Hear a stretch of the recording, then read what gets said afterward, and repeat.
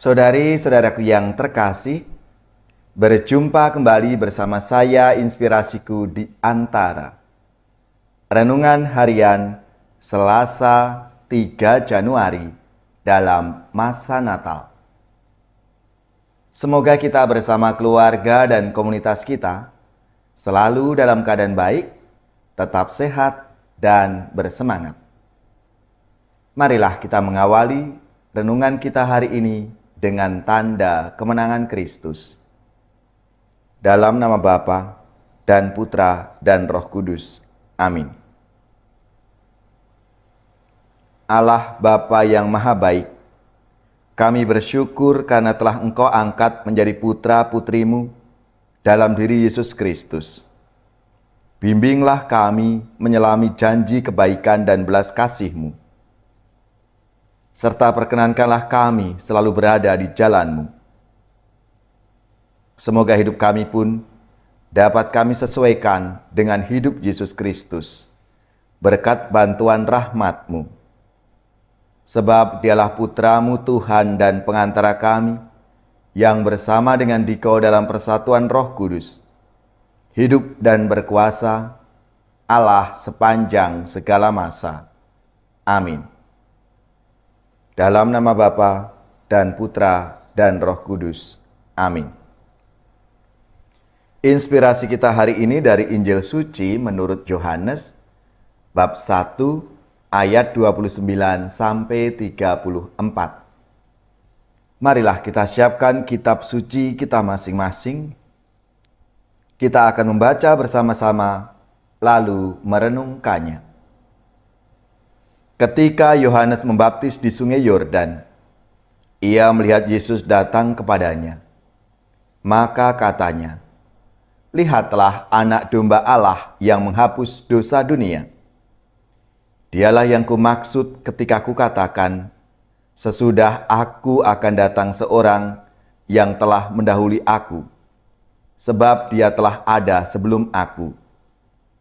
Aku sendiri pun mula-mula tidak mengenal dia, tetapi untuk itulah aku datang dan membaptis dengan air, supaya ia dinyatakan kepada Israel. Dan Yohanes memberikan kesaksian katanya, Aku melihat roh turun dari langit seperti merpati, dan roh itu tinggal di atasnya. Aku pun sebenarnya tidak mengenal dia, tetapi yang mengutus aku membaptis dengan air telah berfirman, Jikalau engkau melihat roh turun ke atas seseorang dan tinggal di atasnya, dia itulah yang akan membaptis dengan roh kudus dan aku telah melihatnya. Maka aku memberi kesaksian, dia inilah anak Allah. Demikianlah sabda Tuhan. Terpujilah Kristus.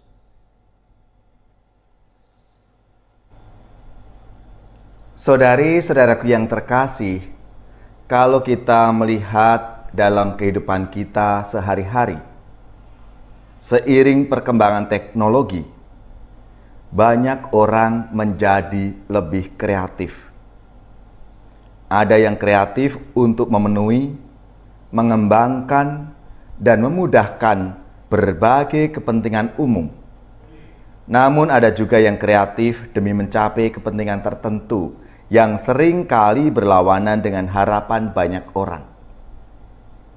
Ada orang yang karena kreativitasnya dapat merekayasa material dan data tertentu untuk tujuan yang tidak baik. Misalnya, ada orang yang mengedit foto, video, atau berita tertentu dengan tujuan menipu atau menciptakan kegaduhan, bukan memberi kesaksian untuk membantu dan mencerahkan hidup banyak orang. Contoh kreativitas yang tidak baik itu berbeda dengan apa yang kita dapatkan dalam sabda Tuhan hari ini. Yohanes Pembaptis sungguh-sungguh menjadi saksi kebenaran atas apa yang ia sendiri lihat dan ia alami. Ia tidak merekayasa berita atau pengalaman yang dipercayakan kepadanya. Akan tetapi, pengalaman dan pengetahuan yang benarlah yang ia sampaikan atau ia sharingkan kepada orang lain, sehingga mereka pun mendapatkan informasi yang baik, yang benar, dan berguna. Saudari-saudaraku yang terkasih, semoga kita pun tidak tergoda untuk melakukan kesaksian palsu atau apa pun bentuknya. Namun, kita seperti Yohanes yang mewartakan apa yang benar kepada sesama kita dalam hidup kita sehari-hari, karena dari situlah kita bisa menjadi saksi-saksi Tuhan dalam kehidupan kita masing-masing.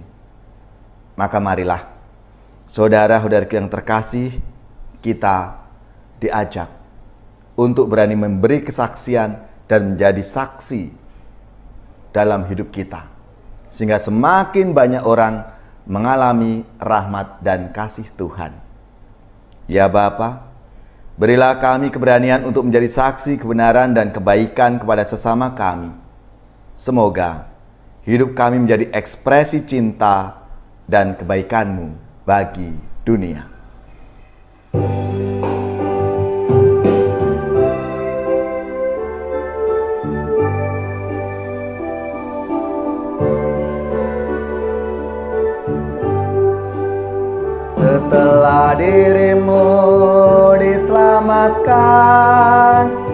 Jadilah saksi Kristus. Cahaya hatimu jadi terang. Jadilah saksi Kristus. Tujuan hidupmu jadi terang. Jadilah saksi Kristus Setelah dirimu kau tinggalkan jadilah saksi Kristus. Kehidupan baru kau dapatkan jadilah saksi Kristus.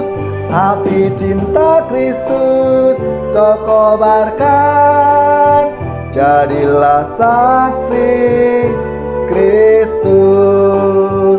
Di saat hatimu jadi hampa jadilah saksi Kristus. Tiada hasratmu dalam karya jadilah saksi Kristus tiada harapan kan berjuang jadilah saksi Kristus. Saudari-saudaraku yang terkasih, marilah kita mengakhiri renungan kita hari ini dengan mohon berkat Tuhan dan kita akan menerima tugas perutusan. Marilah kita siapkan hati kita untuk menerima berkatnya. Semoga saudari-saudara sekalian, keluarga-keluarga dan komunitas kita orang-orang yang kita doakan, mereka yang sakit, yang menderita, seluruh tugas, belajar, pekerjaan, usaha, serta karya pelayanan kita, dibimbing, dilindungi dan diberkati oleh Allah yang Maha Kuasa, Bapa dan Putra dan Roh Kudus. Amin.